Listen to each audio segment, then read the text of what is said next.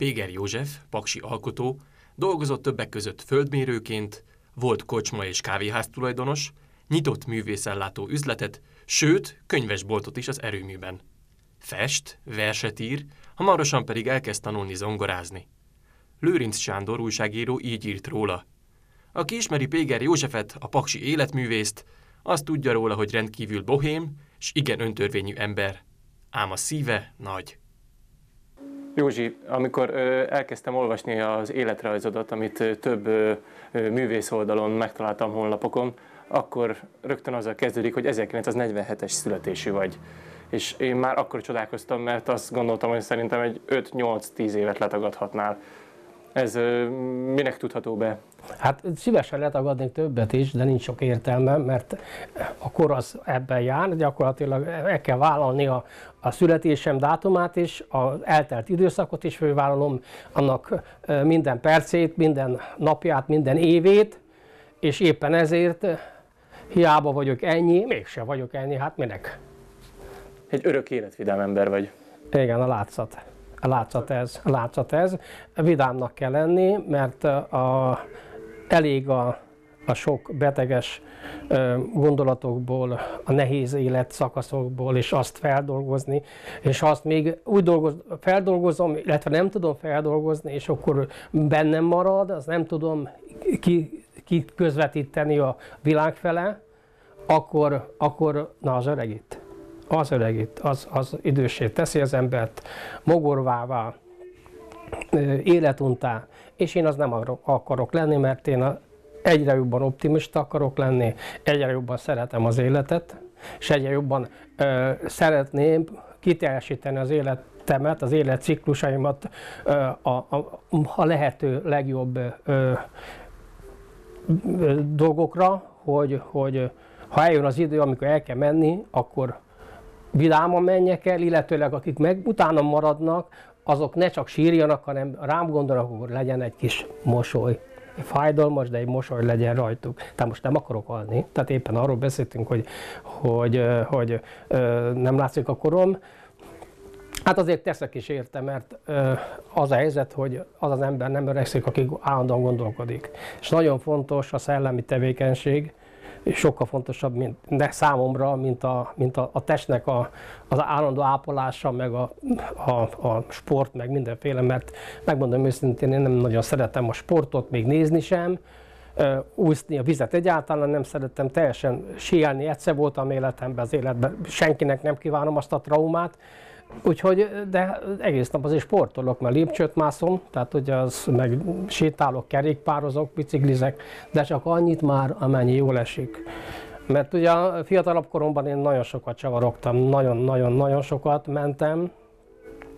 Ugye én földmérő is voltam többek között, akkor viszont még a klasszikus földmérést csináltunk, a, a egy a ezres, egy a kétezres, illetőleg a, a, a kültereti zárkerti ingatlanok felmérését mértük, tehát térképeket csináltunk gyakorlatilag, a Tolna, de a Tolna megyének nagyon nagy részét bejártam, és én csináltam a kollégáimmal, de voltam egyedül ment, egyedül csináltam kis falvaknak, kisebb-nagyobb falvaknak, településeknek a teljes komplett ingatlan nyilvántartási térképét. Ugye itt, mivel egy manuális volt, nem voltak még ezek a szuperkütyük, akkor ugye szalaggal kellett húzni, figuráns, minden házról házra menni, minden kutyával megbarátkozni, meg, meg az emberekkel, és szóval hogy nagyon jó volt ez, mert, mert rengeteg emberrel megismerkedtem, reggeltől estig gyalogoltam, hát aztán volt, amikor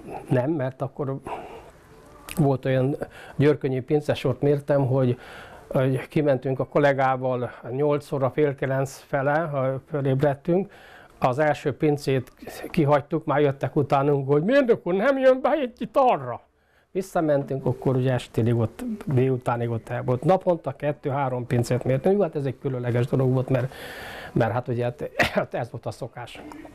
Úgyhogy de, de nagyon izgalmasak voltak törőkopányi szőlőhegy mérése, tehát hegyek, bölgyek, minden pincék, úgyhogy otthon vagyok a pincészetben teljesen, mondjuk az egyik szakmám az borász is ráadásul, úgyhogy tudtam virítani, élveztem nagyon beszélgetni a, a szőlőtermelőkkel, meg, meg a bor, borkészítőkkel, de hát ez egy izgalmas életciklus ciklus volt, úgyhogy Hát a, ott volt mozgás. Most már nem hiszem, hogy kívánnám ezt a, ezt a gyaloglást, meg mindenfélét.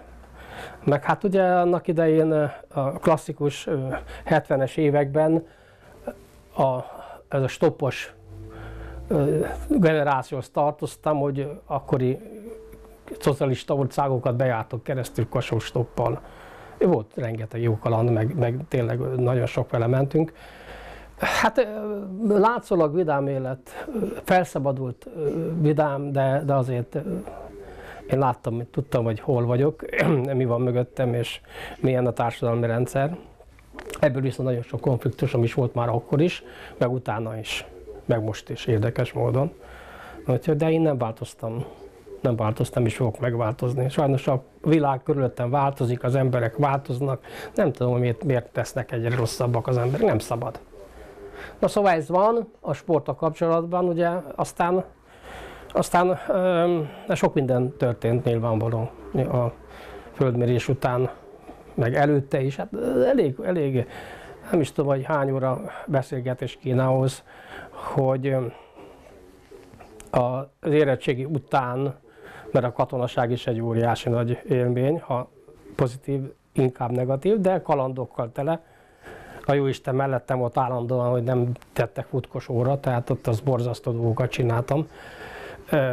Mai, mai szember, mai katona emberné megtenni azt, amit én, de hát nem érdekel. Na mindegy, és akkor utána, utána jött a budapesti év, az, az nagyon fantasztikus volt. Aztán jött a földmérés 9 évig, aztán jött a, a tanácsi munka, a, szintén a földmérése, illetőleg a, a megosztás kisajátítása és a szanálással kapcsolatos munkáim voltak, na, abból készültek rajzok, hát a, régi paks, meg a lebontott épületekkel, hogyan azokban dokumentáltam, akkor fotóztam, és utána csináltam belőle egy sorozatot, egy 50 darabos tusrajz, amit én a Városi Múzeumnak szerették majd ajándékozni valamikor még ki kell egészíteni egy-kettővel. Aztán utána megnősültem, képzeljétek. Meg, megnősültem. És gyermeked is született? Kettő. Kettő gyermeked is született? Igen, igen, igen, két tündéri lányom van. Igen, hát aztán ugye csavargástak éppen, hogy mivel hogy nős ember lettem, családos ember, abba kellett hagyni a, család, a csavargást, és akkor voltam a tanácsi dolgozó, de attól érdekes módon felkértek. Akkori tanácselnök, elvtárs felkért, hogy, hogy hát szíveskedjek távozni a munkahelyemről. Nem tudtál beállni a sorba? Nem. Is akartál? Nem, hát sok, volt, de most nem, ebben nem, nem akarom dicsekedni, vagy nem akarom mondani, mert ugye mai divat, bár most már egyre inkább az a divat, hogy én kádárpárti vagyok, ugye azt mondják az emberek, hogy akkor jobb volt, de, de, de én akkor ilyen, hát a finoman is, viccesen is, de, de azért nem szerettem, nem álltam be sorba nem álltam be. Utólag derültek ki, hogy, hogy jó, hogy ilyen, ilyen habitusom van, ilyen lezserű fogtam föl, mert komolyan fogunk, rámehettem volna, mert nagyon később kiderült, hogy nyomoztak meg minden szexuális rendőrség, meg minden. De hát aztán tiszta voltam már Istennek, nem tudtak rámozni, és hát aztán elmentem a, a erőműve. Vegyépszernél dolgoztál? A, igen, elmentem a erőműbe, ottan dolgoztam. Hát gyerekek, most ugye, vissza, ugye nem volt, hogyha párhuzamot vonok akkor is a mostani időszakban, hogy a, a munkamorál meg mindenféle. Hát nem hiszem, hogy a munkamorál változott, az a munkamorál meg a mostani munkamorál, csak annyival, hogy akkor nagyon keveset kerestünk, és nagyon keveset dolgoztunk, most nagyon sokat keresnek, és nagyon keveset dolgoznak. Tehát ez a kettő, és ez tényleg így van. Hát én ott láttam, láttam, hogy mi van. Én ebben, én megmondom őszintén, él, él, élmunkás voltam a, a nem dolgozásban. Tehát azt jelenti, hogy, hogy vicces, de így, így volt, ebben három évben nem dolgoztam le egyetlen egy műszakot teljes egészében, három év alatt. Olyan volt, hogy Hát volt egy irodám, ugye hát először is raktárosnak vettek föl, ugye, mert lebukott ember jó lesz raktárosnak. Ah, mondom, hát ez nem, mégse olyan, mégse olyan jó. Félmentem irodám, mondom, lesz, én a irodista leszek. Nem fogok én ott a raktárból kiadógatni. Igen, árukezelő? Igen, idegen áru átvevő. Hát aztán idegen áru átvevő vettem, hogy az mit jelent, aztán később nagyjából tudtam mi az. Hát most olyan, olyan dolog, hogy Hát tudtam, hogy ha én, én viszem a bélyegzőmet, és lebélyegezem azt az auszterites almatúrát, ott tudtam még mi az utána, mert akkor az, a halvány lila gőzöm nem volt, hogy mi az, auszterites, meg armatúra, meg mindenféle ilyen szakszavak, és, és akkor kellett aláírni, mert hogy átvettem, és akkor beépíthető. Tehát azt így igyekeztem ezt elkerülni, beütem a íróasztalhoz, megreggeliztem, 10 perc, 15-20 perc, fölálltam, kijöttem a városba, és könyve, vittem be könyveket, és könyvterjesztő voltam. Üzemi könyvterjesztő, kineveztem magam üzemi könyvterjesztőnek. Kultúrát, vittem a kultúrát a dolgozó népeknek. És akkor, hát... Ez volt a nem hivatalos titulusod? Igen, igen, és, és hát, hogy is mondjam, hát volt 2500 forint havi fixem, havi fizetésem, és ami a, hát hogy 50 fillére, egy forintért vérre ment a játék, és én mondtam, hogy én nem kérek fizetésemelést. Volt olyan, minden, volt olyan hónap, hogy 50-60 ezeret kerestem. És akkor az a vezérigazgató nem keresett annyit. Úgyhogy, és 10% haza. Úgyhogy mentem, igaz, hogy havonta egy táska tönkrement, de vittem majd ezeket. Na most végül sokat dolgoztam, csak hát nem, nem, nem azt a miért fizet, kaptam volna a fizetést. És ez ment, ment, ment két, két és fél évig. Hát akkor ott is nagyon érdekes dolgok történtek, hogy, hogy, hogy helyiségfoglalás, illegálisan nyitottam a könyve, rendes könyvesboltot. Aztán kiderült, ez csak olyan zárójelve jegyzeve kiderült, hogy, hogy Pehemre a, a szovjet irattár, titkos irattárnak a bejáratát foglaltam el. A mondatot után volt belőle balhé, és mindent, megint nyomozás, aztán megkértek, hogy vigyek el, el mindent, akkor az étterem kiáratánál volt egy olyan szabad hely, ott lefalasztam, vagy ledeszkáztattam a katonákkal, és akkor be, berendeztem polcot, és kiírtam, hogy könyves volt. És ez ment, nagyon, ment, ment egy, egy másfél évig, egy évig körülbelül ment, megjelent a, a az a városvezetés üzemlátogatáson, akik engem eltanácsoltak, és meglátták. Hogy könyvesboltos lettél Igen, az Péger, Péger Jóska, maszek. Azonnal berendeltek a tanácsra, hogy, hogy ez engedély nélküli könyvárosítás, mindenféle. Aztán mondom, jó, akkor eladom. Eladtam a könyvesboltot úgy lábon, és utána egy hónap után bezárották már az új tulajdonossal, tulajdonosát, na mindegy. És de én már közben, közben kibéreltem itt egy üzlethelyiséget, hát mondom, maszeknak mondtak, akkor legyek maszek. És akkor megcsinált, barka, összebarkácsoltam a berendezést, akkor megnyitottam a lakásszerelés bótomat, és onnantól kezdve hivatalosan is kiskereskedő.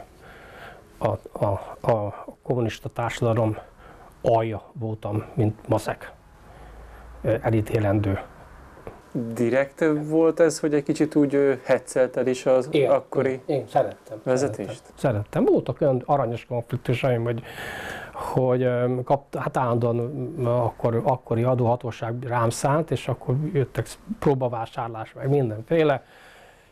Hát megbüntettek, kérlek szépen, mert zászlót vettem számlára, és kiraktam a magyar zászlót. Hát ez tilos. Hát ez akkor tilos volt. És jött egy illető, azt mondta, hogy a vörös zászló együtt érvényes a magyar zászló, és úgy elküldtem az illetőt, hogy nem csapta vagyok. Na mindegy, akkor ilyen, ilyen világ volt. Na igen, aztán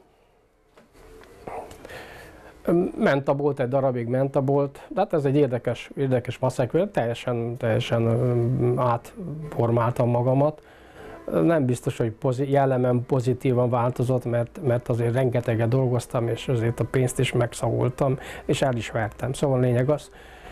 Aztán ugye kezdődött az építkezés, itt a, a jelen, ahol most is vagyunk, hogy akkor, akkor eladták alólam az üzletet, üzlethelyiséget, akkor kibéreltem a Lilakász nevezetű műintézményt, azt, az is nem tudom, hogy jártál ott? Nem jártam. Nem járt. De ez egy Most az híres- önéletrajzodban olvastam, hogy a Lila futball csapatom is. De ki nem álltam a focit, de volt egy rendes futballcsapat, mezekkel, mindennel. Egész jó, jó csapat volt. Hol És játszott ez a futballcsapat? Hm? Hol játszott ez a a futballcsapat? Paksi Városi Bajnokságban. Aha. Bizonyám, terembajnokság meg lenne a fönn- a sportpályán. Hát elég sok.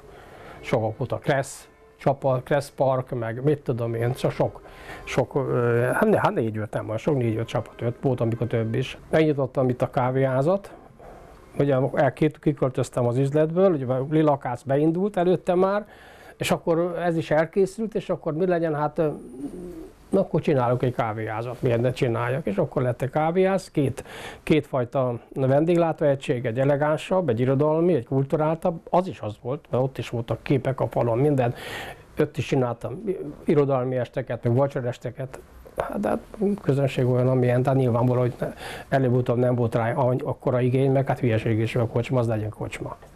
Na mindegy, és akkor a kávé az egész jó beindult az elején, egész jó ment, nagyon sok program volt, kiállításokat rendeztem, irodalmi esteket, jöttek költők, zenészek, tehát egy belső élet. Aztán a könyvtárral közösen csináltunk műsorokat, tehát közösen ők, ők szervezték, én nálam, nálam itt, itt, itt bonyolítottuk le, tehát volt, volt ilyen. Hát aztán ugye mi mindennek megvan a hátulütője, Hát ugye ráment a házasságom, meg sok minden. Ez meg már, ez a, az életnek a kellemetlenebbik része, ugye, hát akkor már ugye, hát, ö, ennek a hatására is voltak az infarktus sorozataim, ugye előbb-utóbb azért büntetlenül nem lehet ezt csinálni, és ami nagyon fontos, és, és ezért én most ö, harcolok a dohányzás ellen nagyon, és ne, ki nem állhatom még a cigaretta füstöt sem, mert ugye én passzív dohányos voltam, a kocsmában ott vágni lehetett kávéházba, vágni lehetett, és gyakorlatilag, és akkor rám beszél, hogy ugye bezártam a kávéházat, a kocsmát este 9-kor, 11 órakor a, a kávéházat, elmentünk a haverokkal bulizni a premierbe, meg a Duná, a hajóra, akkor volt egy hajó szórakozóhely hajnalig, és akkor minden nap kezdődött előről, és ebbe éltem. Persze, hogy az én rendszerem az kicsit tönkrement. Na jó, de hát meg kell fizetni mindenért. Előbb-utóbb benyújtják a számlát. Benyújtották. Nagy dolog. Úgyhogy ez, ez volt. Aztán utána Jött a kreatív hobbi. Hát igen, akkor, akkor ugye, hát el, ugye elváltunk, ráment mindenem, de abban az időben nagyon nagy dolog, mindent, szóval gyakorlatilag ez maradt, mert mindent elveszített, nem elveszítettem, hát elment nagy dolog, hát most de azért maradt egy-két dolog, nyilvánvaló.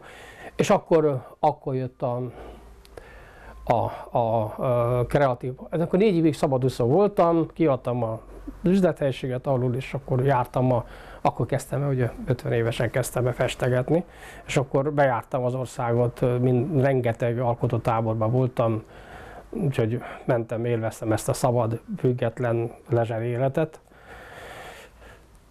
Míg aztán hát, rájöttem, hogy mégsem ezt egy életen keresztül nem lehet én csinálni, és akkor, akkor kezdtem gondolkodni, hogy valamit kéne magammal kezdeni, és akkor nyitottam meg a, a művészellátott kreatív, de és, és akkor ugye hát nyilvánvaló, hogy még akkor utána is csináltunk ö, kiállításokat, elég sokat, mindenféle, aztán végül ez is ellaposodott, és maradt, maradtam magamnak jelen állapotban, hogy, hogy az üzletbe elbatyarászok, ha van kuncsa, van, ha nincs kuncsa, nincs kuncsa, nem érdekel.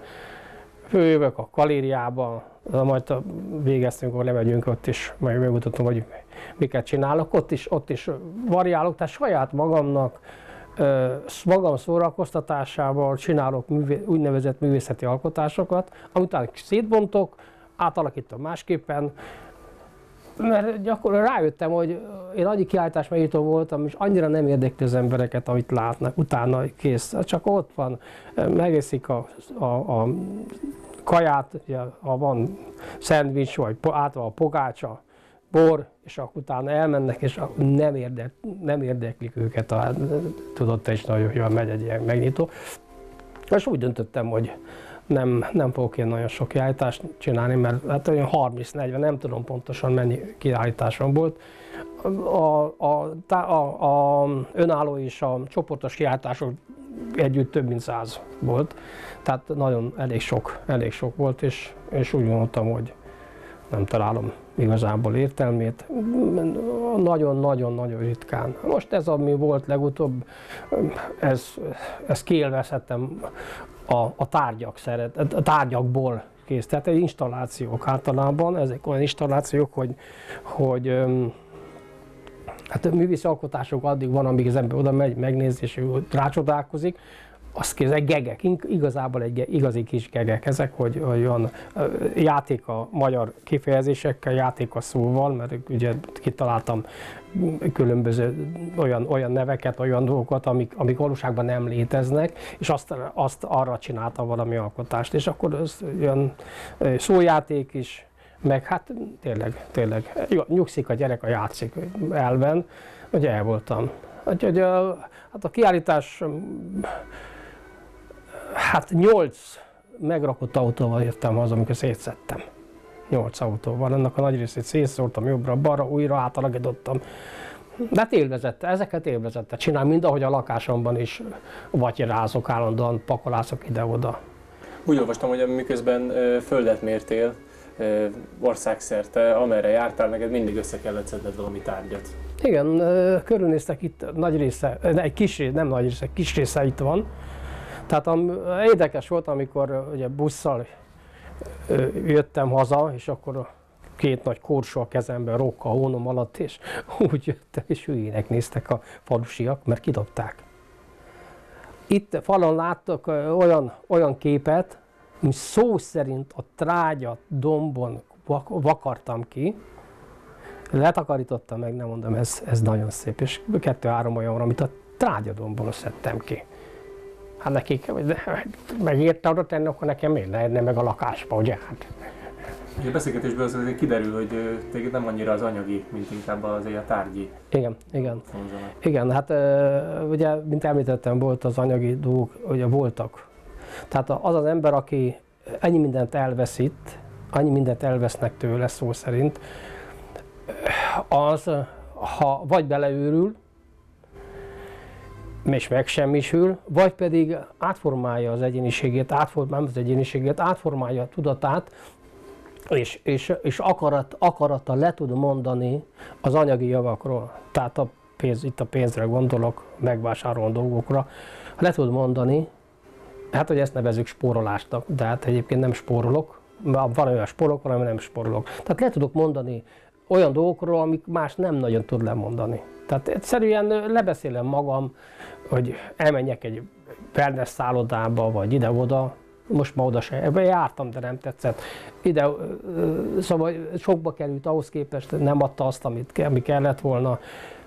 Vagy el vagyok magamba, és, és a jó érzés úgynevezett szegénynek lenni, anyagilag szegénynek lenni, de szellemileg gazdagnak kell lenni mert nekem tényleg pénzem az, annyi, minden, sokan kérdezik, miből élsz?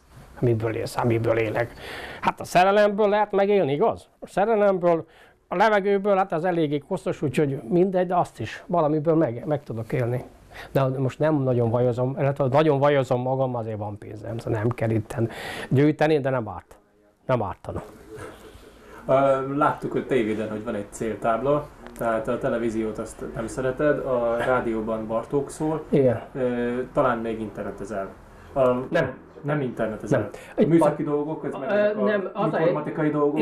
Ez, ez, érdekes módon, már gyereknek is jelöket voltam, mindig a manuális dolgok tetszettek. Manuális. Mindent, amit kézzel megfogható, amit, amit, amit, amit, amit lehet vatyarászni, de az, hogy én A földmérést is azért hagytam, hagytam abban, mert bejöttek a, a szuper technikák, és egyszerűen nem voltam hajlandó, már volt számítógép, nem voltam hajlandó, hál' Istennek, én el is tűnök innét.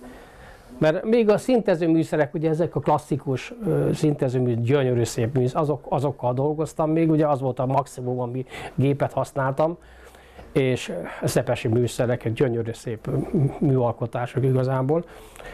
De, de valahogyan az agyam, azt hiszem az agyammal van baj, mert, mert nem áll rá.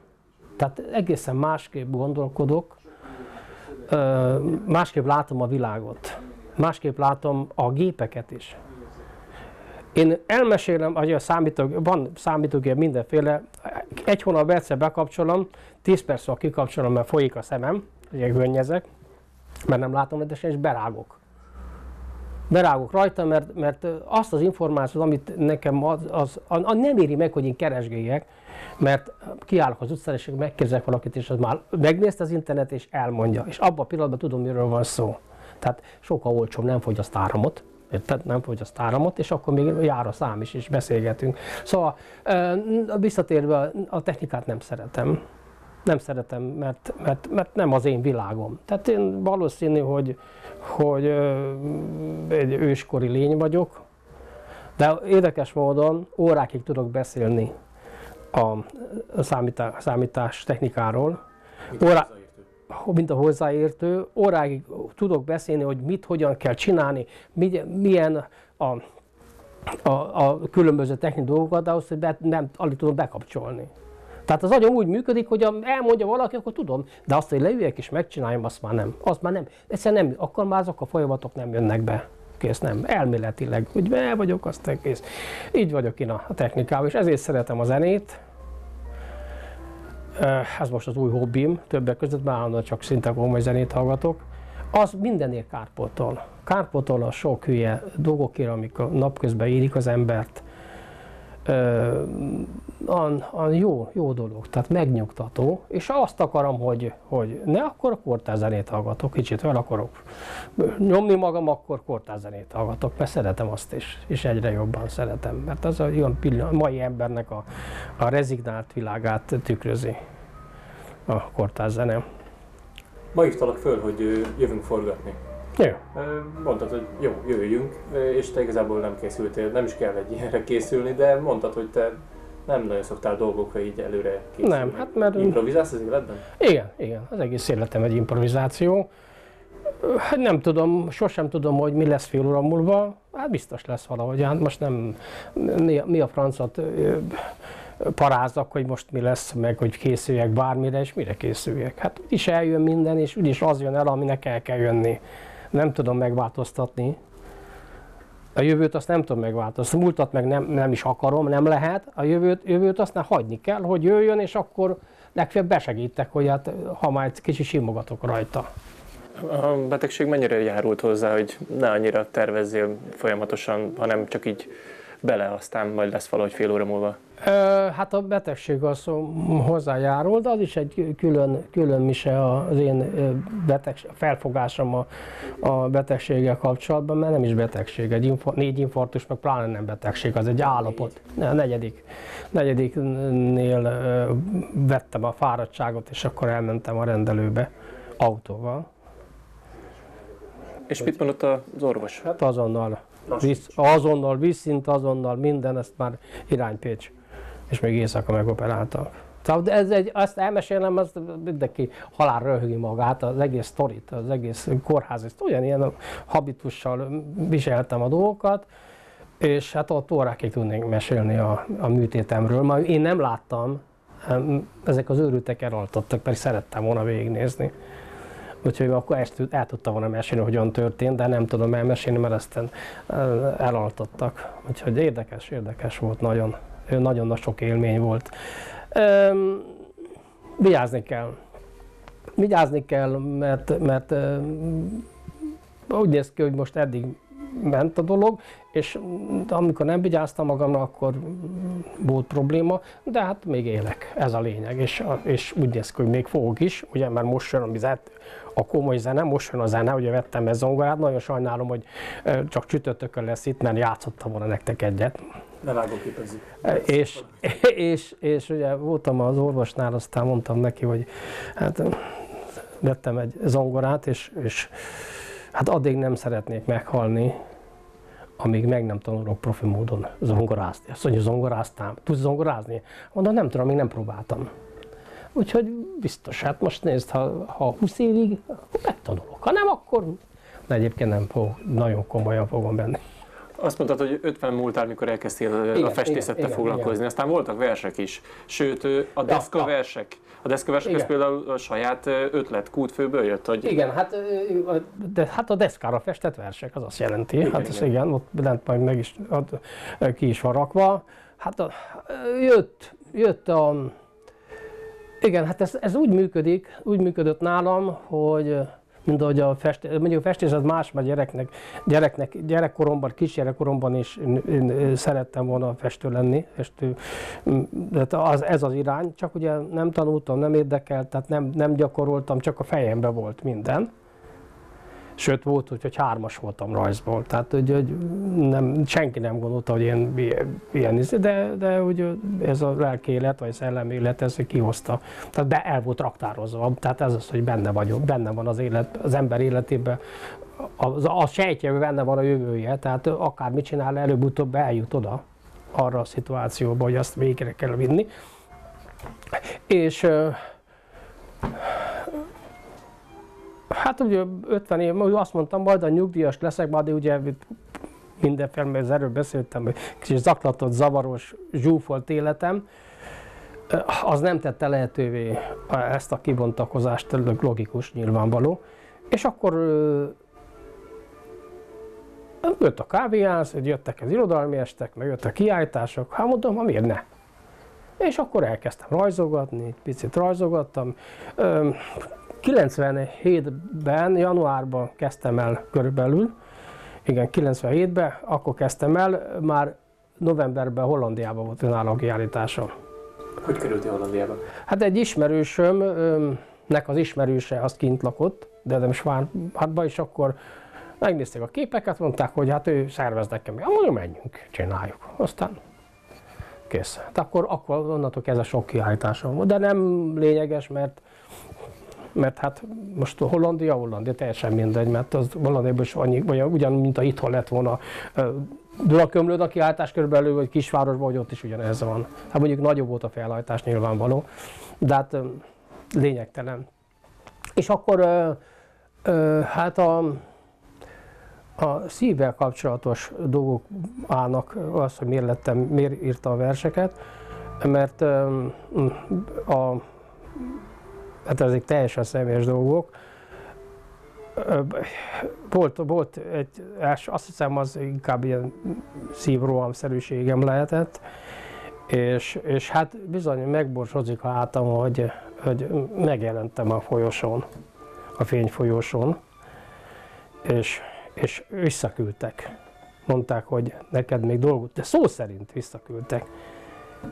És, és Hát jó, hát csúnya akkor volt a vállás, meg mindenféle hát zaklatott életem, meg hát nem is nem éltem teljesen szűző életet. És, és, és mindegy, szóval ráment a szervezetemre, ráment, és akkor, akkor vissza, visszajöttem, és akkor írta a verseket sorra,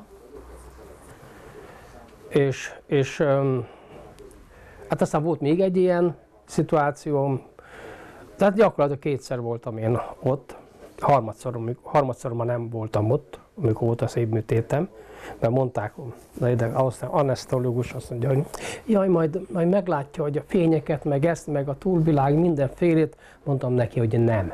Én már voltam ott, én tudom azt, hogy meg se közelítem, mert én élni fogok, és nem még a közelébe se kerülök. Csak így néztek, és tényleg, tényleg abszolút semmi, nagy, ez egy kóma, fölébresztettek, akkor viszont zene, mennyire jó a komoly zene.